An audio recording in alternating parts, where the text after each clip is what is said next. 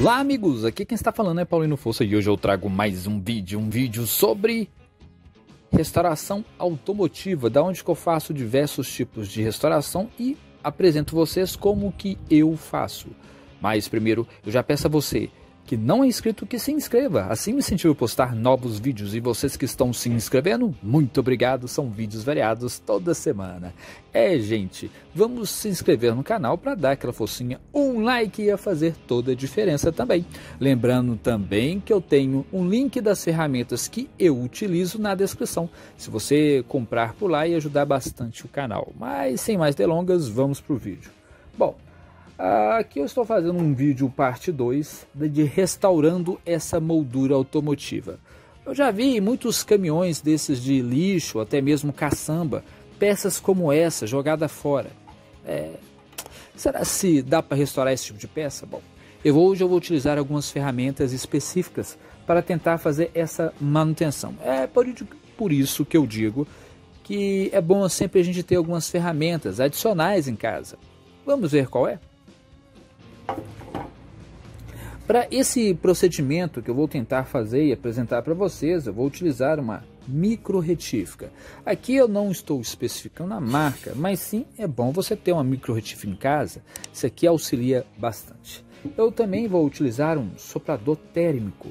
Esse aqui é da Gama, auxilia bastante também. Não estou especificando marca, mas sim a vantagem é que ele vai, é, né, vai ajudar a gente na manutenção. Outro detalhe também que eu vou utilizar é uma máquina de solda, né?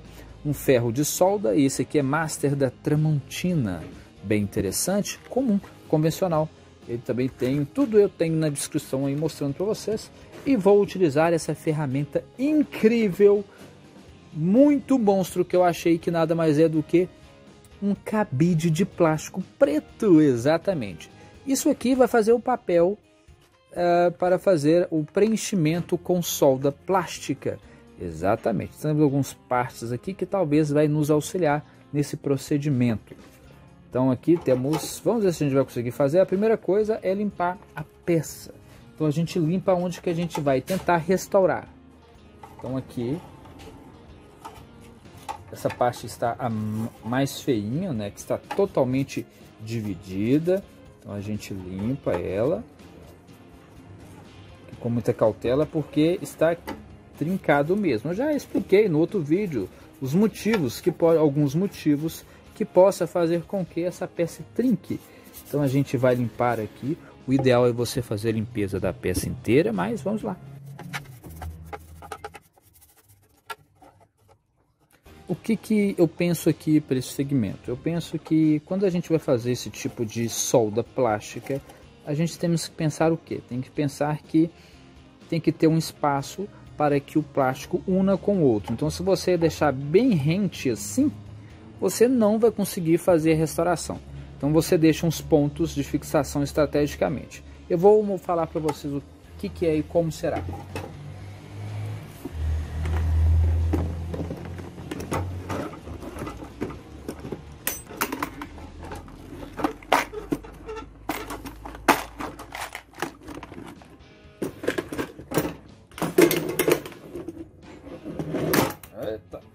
Aqui temos essa caixinha com alguns detalhes. Eu vou pegar o que um pequeno um pequeno disco. Eu já tenho algum aí vou apresentar algumas alguns kits que talvez façam diferença inicialmente. Deixa eu ver se eu tenho um já pronto, já tenho um encaixado aqui que vai auxiliar bastante. Se ele não resolver, eu vou direto com a pedra que temos aqui. Então para poder encaixar aqui é bem fácil, temos nesse pequeno mandril, você encaixa na ponta. Deixa eu ver se esse é o tamanho, né? Porque essa máquina veio com dois tipos de mandris. Ela veio com um mandril um pouquinho maior e um menor para trabalho bem estratégico. Você aperta esse botão aqui e vai rodando até encaixar. Encaixou, o botão afundou, aí você atarracha o mandril e vê se é o correto, a espessura correta. Bom, sim, se encaixa. Aí com aqui apertado você dá para você atarrachar manualmente porque aqui temos pequenas arranhuras. Agora, se porventura você vai fazer uma coisa muito robusta, você temos uma chave aqui que esse mandril é estrategicamente um formato para você conseguir fazer os apertos com esse botão acionado. Apertamos, agora sim. Bom, agora, depois de você instalado uh, aqui esse pequeno disco, agora é a hora de você encaixar a tomada.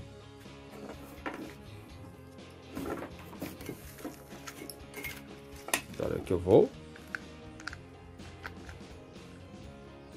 Tomadinha minha tá feia. Mas vamos lá. Agora já está aqui. Lembrando que essa máquina aqui ela tem ah, posições. Temos regulador de RPM. Isso faz com que você ah, tenha mais chances de fazer o seu serviço com mais qualidade. Então aqui já vou deixar de cara no 3 e vou ligar para ver se está suficiente. Talvez um pouco menos. Aqui.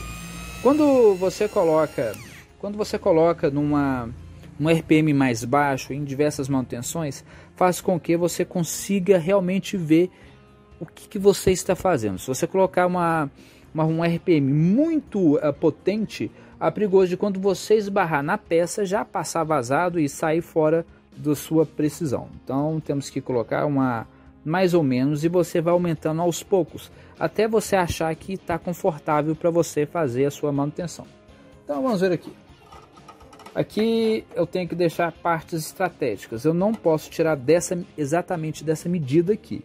Então eu posso desbastar um pouco de um lado, um pouco de outro, mas sempre deixando que a peça encaixe perfeitamente. Então aqui nas extremidades aqui eu vou tirar aqui um pouco e vou deixar no central. Vamos ligar aqui agora.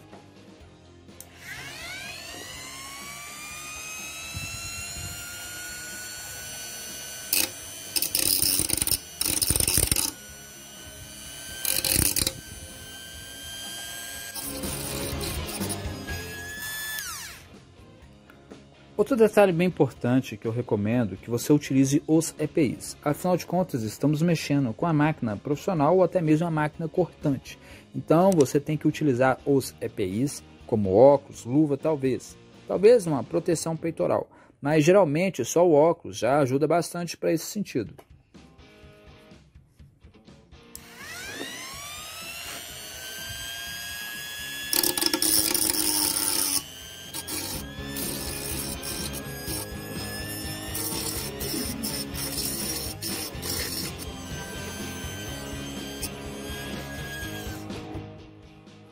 Olha como é que está agora. Você encaixa a peça como deve ser e tem uma pequena fissura entre um lado e o outro. Temos que fazer com que ela expanda mais para que as partes plásticas se encaixem com mais perfeição na hora que você for derreter o plástico.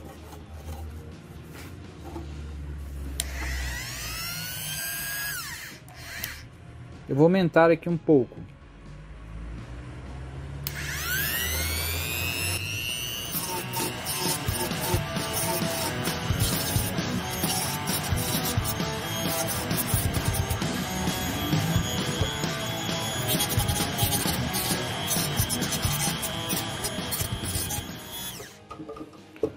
Agora que eu já utilizei essa peça aqui para fazer um desbaste mais robusto, agora eu vou ah, colocar numa forma mais anatômica. E para isso eu vou trocar as pontas. Desatarrachar aqui, apertando o botão, desatarrachando o mandril aqui, tirando esse disco. E colocando aqui uma ponta mais estratégica. Mais fina que seja. Vou colocar essa aqui.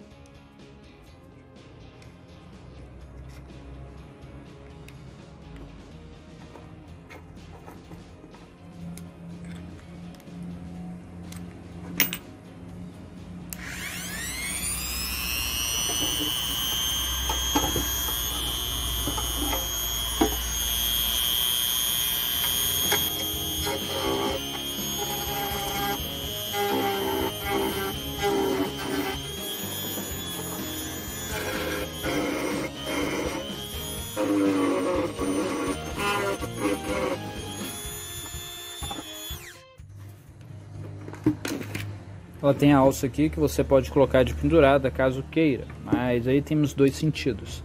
Pra, tanto para adaptar um extensor articulável aqui nessa máquina, tanto quanto deixar ela guardada ali. Mas vamos ver como é que eu fiz aqui. Aqui, é, vejamos que eu fiz uma fissura, eu consigo encaixar a peça, eu cortei do tipo que eu consigo encaixar a peça do jeito que ela deve ficar, mas temos uma fissura no meio dela. Agora temos uma fissura, fissura, essa fissura eu tenho que preencher ela. Aqui atrás, aconselho que você faça mais robusta ainda. Então aqui eu vou tirar mais aqui nessa parte, nessa aqui, olha, para vocês perceberem. Para que eu faça um preenchimento maior invadindo um pouquinho só. Quando a gente está falando em partes automotivas, elas têm que ter um tamanho preciso para fazer o um encaixe perfeito. Então aqui eu vou desbastar mais um pouco para fazer um preenchimento melhor. Então, vou ligar novamente.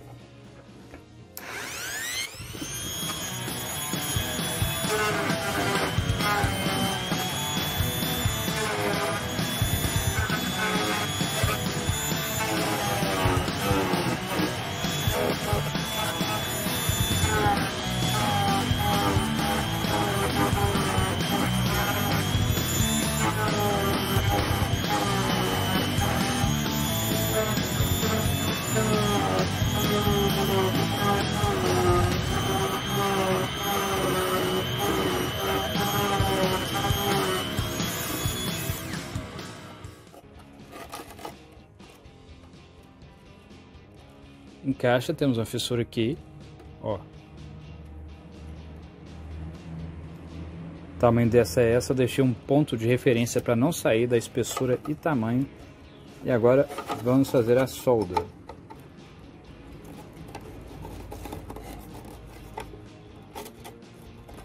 Talvez aqui um pouco mais aqui na parte da frente.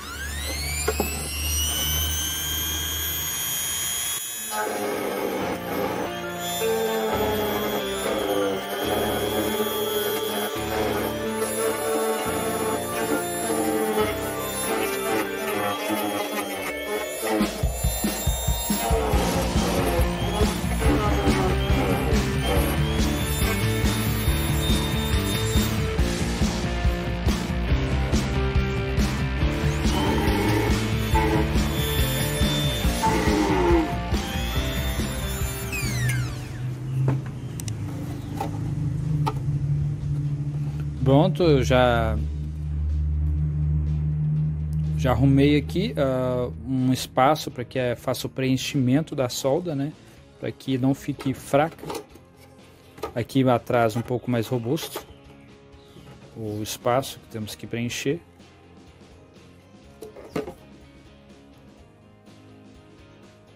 E aqui na frente mais menos menos robusto. Agora vamos usar a máquina ah, essa, esse, esse ferro de solda. Só que eu não vou utilizar com o estanho convencional.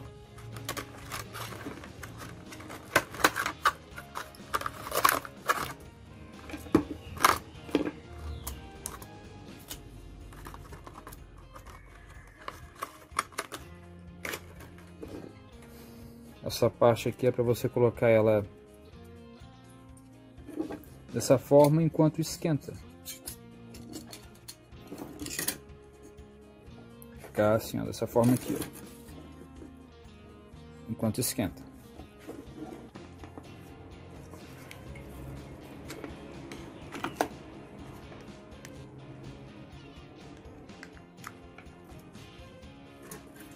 Enquanto está esquentando, vamos ver aqui isso aqui precisar desse, de um pedaço desse plástico. Deixa eu ver se eu consigo quebrar aqui. Utilizar esse pequeno aqui.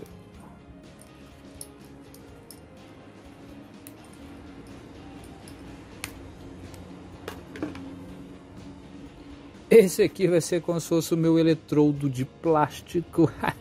se você quer saber como que eu faço solda em metais, aí eu já tenho um vídeo no canal. Esse aqui é como eu vou fazer solda em plástico.